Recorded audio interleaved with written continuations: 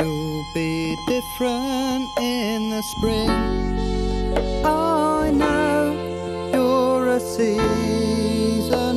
beast, like the starfish that drift in with the tide, with the tide.